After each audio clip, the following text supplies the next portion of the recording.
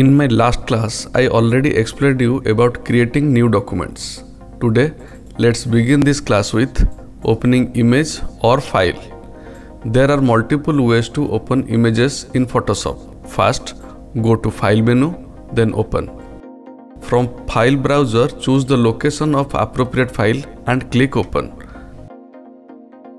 Second way is browse the appropriate file from Windows Explorer then click and drag the image to the Photoshop and release the mouse button. Repeating the process will lead to open multiple images in Photoshop. To switch between open images, click the tabs along the top of the documents. If you want to place the image in any open Photoshop document, then you have to click and drag the image to the opened document. To close the document, go up to the File menu in the menu bar along the top of the screen and choose Close. Let's learn about Photoshop interface. Here is what the Photoshop interface look like once we have opened an image. We already learned all about opening images in the previous chapter in this training series. The document window is the large area in the center of the interface where the image is displayed. It is also where we edit the image. The actual area where the image is visible is known as the canvas.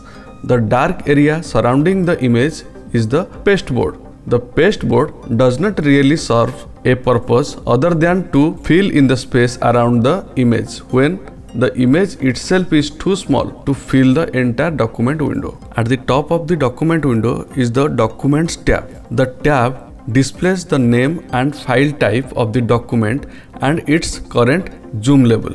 The tab is also how we switch between document windows when we have more than one image open in Photoshop. Then comes the toolbar.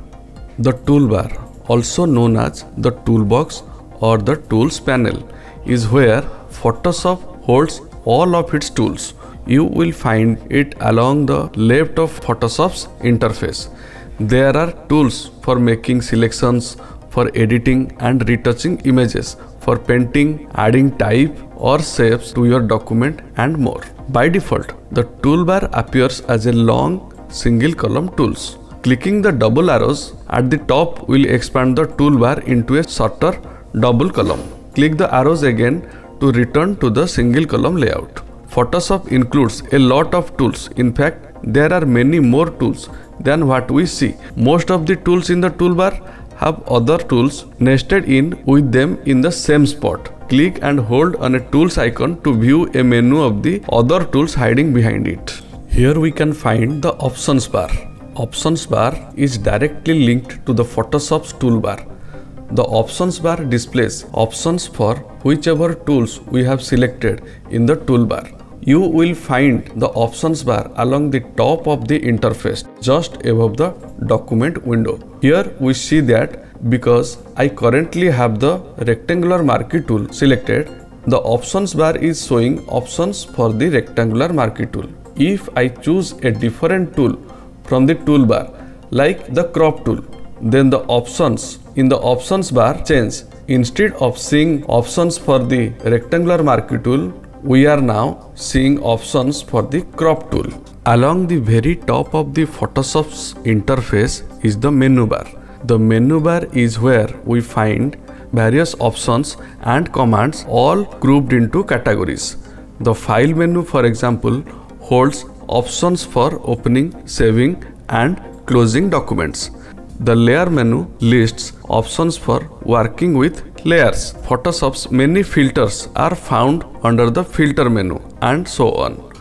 We won't go through every category and menu item here, but we will learn all about them in future lessons as they become important. Along the right of Photoshop's interface is where we find panels. Panels give us access to all sorts of commands and options and there are different panels for different tasks. The most important panel is the layer panel.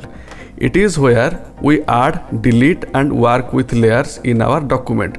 But there are lots of other panels as well, all of which we will be looking at later. By default, only handful of panels are displayed at first, but there are many more panels available to us in Photoshop. we will find the complete list of panels under the window menu in the menu bar. In our next class, we will learn about using tools in Photoshop. Thank you.